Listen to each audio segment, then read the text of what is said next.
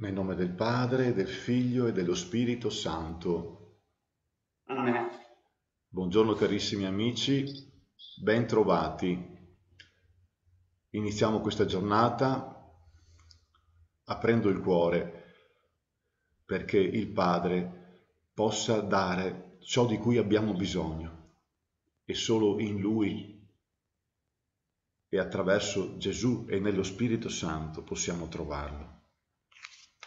Padre nostro, che sei nei cieli, sia santificato il tuo nome, venga il tuo regno, sia fatta la tua volontà, come in cielo, così in terra. Dacci oggi il nostro pane quotidiano e rimetti a noi i nostri debiti, come anche noi li rimettiamo ai nostri debitori e non abbandonarci alla tentazione, ma liberaci dal male. Amen. Amen. Abbiamo ascoltato ieri il Vangelo del buon samaritano, che era una parabola raccontata da Gesù per aiutare il dottore della legge a capire che cosa vuol dire amare il proprio prossimo come se stessi. Abbiamo anche messo in evidenza che questi briganti che spogliano l'uomo e lo lasciano mezzo morto, possiamo essere veramente noi stessi, sono io stesso quando mi lascio prendere dall'orgoglio, dalle paure. E quindi vengo bastonato da questi briganti e lasciato mezzo morto, soprattutto perché mi lascio portare via Dio e quando non ho più Dio nel cuore sono veramente morto. Ecco, il Vangelo di oggi di Marta e Maria è proprio un'esemplificazione stupenda di come i briganti possono agire, magari anche con la tecnica, diciamo, geniale dal punto di vista diabolico attraverso la quale tu pensi di essere tutto per Gesù perché fai tutto per Lui, ma in realtà non gli dai ciò che veramente Lui ha bisogno, e cioè che il tuo cuore si metta in ascolto del suo cuore. Questa è la forma di ospitalità più necessaria per un ospite, ma anche per chi ospita. Ecco, questi briganti fanno sì che Marta sia tutta agitata. Ecco, allora ascoltiamo la lettura dalla voce di Carlo. Dal Vangelo secondo Luca. In quel tempo, mentre erano in cammino, Gesù entrò in un villaggio e una donna di nome Marta lo ospitò. Ella aveva una sorella di nome Maria, la quale, seduta ai piedi del Signore, ascoltava la sua parola. Marta, invece, era distolta per i molti servizi. Allora si fece avanti e disse, Signore, non ti importa nulla che mia sorella mi abbia lasciata sola a servire? Dille dunque che mi aiuti. Ma il Signore le rispose, Marta, Marta, tu ti affanni e ti agiti per molte cose, ma di una sola cosa c'è bisogno. Maria ha scelto la parte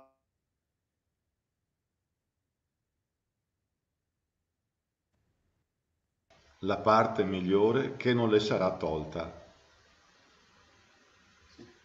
Parola del Signore. Lode a te, o Cristo. Il rischio quando si riceve un amico, una persona in casa, è quello di ospitare il suo corpo, ma non ospitare il suo cuore. E questo si percepisce dal clima, magari un clima un po' freddo, impacciato, con delle paure che inibiscono l'apertura, la condivisione Ecco, provo, provo a mettermi nei panni dell'ospite, nei panni di Gesù. Com'è che io stesso gradisco di più quando vengo ospitato nel corpo con tutte le attenzioni, magari i dettagli esteriori, le cose più belle, i cibi più, più ricercati, o quando magari nella semplicità o anche nella povertà vengo ospitato nel cuore, proprio con il cuore di chi mi accoglie e sento che il mio cuore viene accolto. Ecco, devo fare questo pensiero perché pensando a come io mi sentirei al posto di Gesù, capisco veramente come Gesù si sente quando viene ospitato in questo modo. Ma poi anche rifletto su me stesso che sono io che ricevo, che ospito Gesù, oppure ospito una qualsiasi persona. Ecco, riflettendo su me stesso, vedo che io mi amo veramente, amo veramente questo prossimo che sono io, in maniera vera quando ospito la persona, ospito Gesù con il cuore. Lo ospito nel mio cuore, perché è quello il suo posto, dove lui mi può amare. E ho tanto bisogno di lasciarmi amare. E in quel posto che è il mio cuore, lì Gesù può fare questa cosa, che lui e io diventiamo un'unica realtà. Proprio come lo sposo e la sposa. Io sono incompleto finché non lascio entrare lui nel mio cuore. Io non mi amo finché non lascio che lui occupi il suo posto nel mio cuore.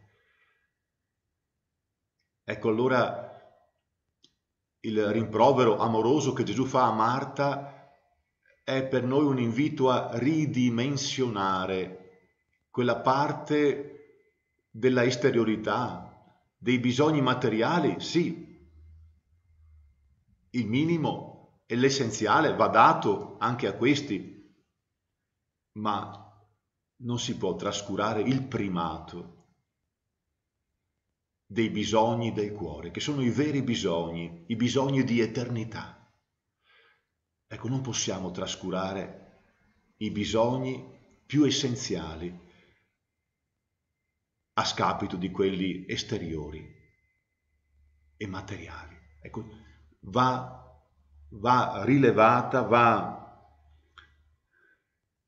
fatta una priorità, una differenza, una gerarchia ecco, il primato, la precedenza deve essere data ai bisogni dell'anima. Ecco, e poi a quelli del corpo.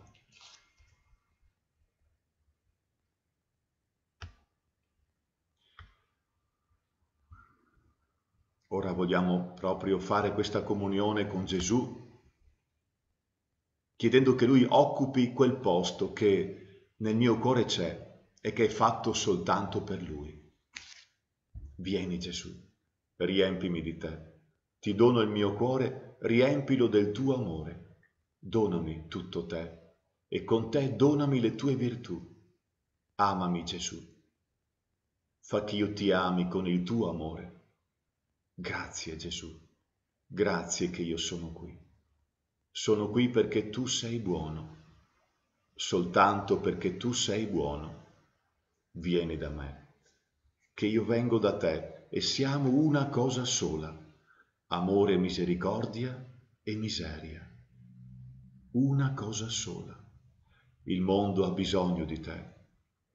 Amore e misericordia. Fa che io ti porti nel mondo intero. Il Signore sia con voi. Ecco il tuo spirito. Per intercessione di Santa Maria e Santa Marta di Betania, vi benedica Dio Onnipotente, Padre, Figlio e Spirito Santo. Amen. Diamo spazio. Ecco, soltanto a proposito di quando dicevi, Claudio, che detestabile Marte, perché in fondo quando uno detesta qualcosa è perché lui stesso è quella cosa, no? Mi viene in mente un, un accostamento con San Francesco e sappiamo che l'episodio che è un po' il fulcro della sua conversione è l'abbraccio con il lebroso, no? Cioè prima il lebroso era il simbolo di ciò che lui rifiutava, no? Del ribrezzo verso questa, questa realtà della lebbra, del lebroso proprio, magari maleodorante, eh, veramente ributtante nella sua anche deformità. E come fa ad arrivare a, ad abbracciarlo? Che cosa significa abbracciare il lebroso? Ecco, perché rifiutava il lebroso prima? Ecco, come si diceva, si rifiuta ciò che si è. Sì, il, il lebroso sono io perché sono ridotto così come lebroso per il fatto che ho estromesso Dio dalla mia vita. Io sono lebroso.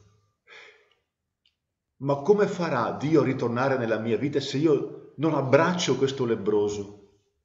Non ho pietà di questo lebroso e gli insegno a riportare Dio nel cuore. Ecco, ho voluto condividere questa cosa perché mi sembrava veramente cioè, una cosa bella. Grazie e buona giornata. A presto. A domani. Metto un attimo di sigla, se si sta.